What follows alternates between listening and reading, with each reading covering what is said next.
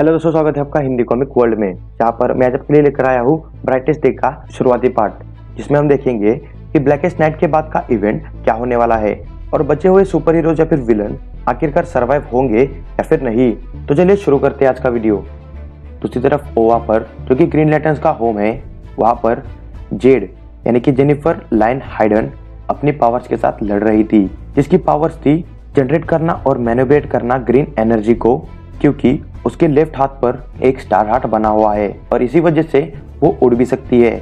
और तभी वहाँ पर उसकी डॉक्टर यानी कि नाटो दिखाई देती है, जो उसे बताती है, तुम्हारे इस फाइट की वजह से मैं एनर्जी लेवल्स और स्ट्रेंथ इंडिकेट करके उसे कैलकुलेट करना चाहती हूँ। तब उस मशीन को तबाह करते हुए वो कहती है, तुम्हें लगता है कि इस वजह से मैं कायल से मेरना रोक पाऊँगी? इस पर उसकी डॉक्टर कहती है, मेरा ये मतलब नहीं था। तब वो बताती है, मैं अब 100 परसेंट पर हूँ, जब से व्हाइट रिंग ने मेरे हाथ को हिट किया है और मैं मोको के क्रास से फिर से वापस आई हूँ। तब वो कहती है हाँ मुझे पता है। और तब वो आगे कायल के बारे में बात करने लगती है और वो आगे कहती है कि मुझे नहीं पता आखिर में वापस आई हूँ तो मैं लोगों की लाइफ में फिर से फिट कैसे बैठ सकती हूँ? जिस पर कायल उसे समझाता है कि जब कि जब तुम मर गई, तब तुम्हारे पिता तुम्हारे साथी मर चुके थे।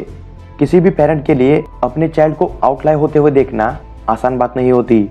और वो उसे समझाने लगता है कि जो भी तुमने किया, वो तुमने नहीं बल्कि नेक्रॉन ने किया था। और तुम इस वजह से अपने पास्ट को भूलकर अपने प्रेजेंट में जीना सीखो। लेकिन तभी उसे रिंग की इमेज दिखाई देती है। दूसरी तरफ़ न्यूयॉर्क सिटी में जेसन अपने फर्नेल पर था, अपनी गर्लफ्रेंड के फर्नेल पर, जहाँ पर एटम और प्रोफेसर स्टेन भी थे।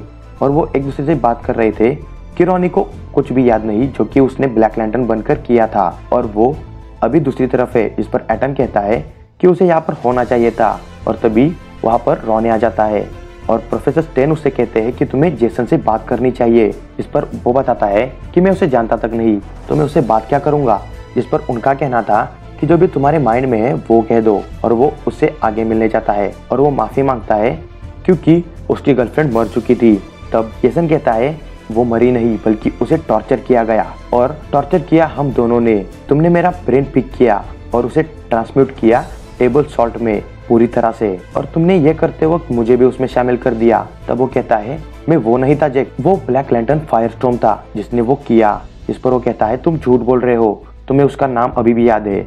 तो उसका नाम कहो। और इतना कहते ही वो रॉबी को एक पंच करता है, लेकिन दोनों मर्ज होकर फायर बन जाते हैं। जो कि अब रॉनी रेमंड और जैसन रच थे, जिनकी पावर्स थी ट्रांसम्यूट करना इनऑर्गेनिक एटॉमिक और मॉलिकुलर मैटर्स को, उड़ना और न्यूक्लियर ब्लास्ट क्रिएट करना एनर्जी और इंटेंजिबिलिटी और तब ये देखकर डेडमैन वहाँ से टेलीपोर्ट हो जाता है हानदाक की तरफ़, जहाँ पर जूनियर ब्लैक एडम अपने लोगों के बीच में से होता हुआ दो पुतलों की तरफ़ बढ़ता है और ब्लैक एडम बनता है और कहता है, मेरी बहन और उसके पति, यानी कि मेरे मेंटोर डेथ एडम उनकी लैंड जो कि प्लेस ऑफ़ ब्यूटी और न्यू बींग्स के लिए जानी जाती थी। और तुम लोगों ने, जिन्होंने मुझे चुना, खुद को सेव करने के लिए, खुद को रिस्टोर करने के लिए। और अब मैं वो करूँगा, जिसके लिए मैं वापस आया हूँ। और अब इसी के साथ गोल्डन एज वापस आएगा, इस जगह का। और वो उन दोनों पुतलों को लेकर उड़ने लगता है। और तभी हमें एमोन टोमास यानी कि ओराइसिस दिखाया जाता है। इसकी पावर्स थी सुपीरियर स्ट्रेंथ स्पीड उड़ना फ़िज़िकल और मैजिकल इनवर्नेबिलिटीज दूसरी तरफ़ हैंक हॉल यानी कि हॉक जो कि अवतार था वॉर का, इसकी पावर्स थी enhanced vision agility strength body density और हीलिंग फैक्टर वो कुछ आर्म डीलर से लड़ रहा था और उन्हें मारने के बाद वो वहाँ पर ब्लास्ट कर देता है और ये सब देखकर डव से कहती है, हमारी पावर्स जो कि हमें मिस्टेरियस वॉइस से मिली है, वो हमें एक साथ करती है हॉक और इस लाइट की वजह से हम कनेक्टेड है। जिस पर हॉक कहता है, तुम एग्जैक्टली exactly गलत हो। क्योंकि हम दोनों ही अपोजिट है। हम कनेक्टेड नहीं है और तुम इस पॉइंट को कभी भी साबित नहीं कर सकती। हम डिफरेंट डायरेक्शन के लिए बने हैं और जिस बारे में तुम बात कर रहे हो, वो बिल्कुल भी बेबुनियाद है। और तब डेडमैन टेलीपोर्ट होता है एक ऐसी जगह पर, जहाँ पर डिस्ट्रक्शन का एक जीता जागता नमूना तैयार था। ये वो जगह थी जहाँ पर ग्रीन एरो का होम टाउन था, जो कि अब बॉम्ब अटैक की वजह से पूरी तरह से शमशान बन चुका था। और इसे देखते ही बाकी सॉइल अपने हाथ में लेते हुए वो कहता है, ये राख की भी राख बन चुकी है और तभी रिंग उसे कहती है, बॉस्टन ब्रांड ऑफ़ अर्थ, मेरी मदद करो। और तब उसे आने वाले कुछ इवेंट्स दिखाए जाते हैं, जिसमें से कुछ बहुत ही डरावने और कुछ बेहद ही आश्चर्यजनक थे। और वो रिंग उससे बार बार कह रही थी कि मेरी मदद करो। और तभी जैसे ही वो अपने हाथ ज़मीन पर रखता है, वो सिटी फिर से जी उठती है और फिर से वो बन जाती है स्टार सिटी। तब डेड मैन रिंग से पूछता है, कौन बात कर रहा था मुझसे? आखिर यहाँ पर हो क्या रहा है? तुम चाहते क्या हो? तुम हमसे चाहते क्या हो? और वो उस रिंग को अपनी उंगली से दूर फेंकने की कोशिश कर रहा था, लेकिन वो रिंग कह रही थी, बॉस्टन ब्रांड ऑफ़ अर्थ मेरी मदद करो, मेरी मदद करो फिर से जीने में।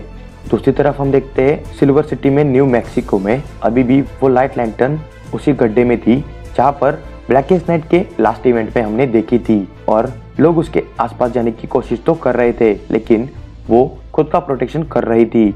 और तभी हम देखते हैं सेनिस्टो को, जो कि अपनी आदत से मजबूर वहाँ पर भी अपनी टांग अड़ाने चला जाता है और कहता है तो तुम यहाँ पर हो। तो इसी के साथ ये वीडियो यहाँ पर खत्म होता है। तो आप मुझे कमेंट करके बताएँ कि आपको ये वीडियो कैसा लगा। साथ ही साथ, अगर आपको ये वीडियो पसंद आए तो भी मुझे कमेंट करें, ताकि मैं इसका अगला पार्ट भी ला सकूँ। तो मिलते हैं अगले वीडियो में। तब तक के लिए thank you friends enjoy the life धन्यवाद और जय हिंद।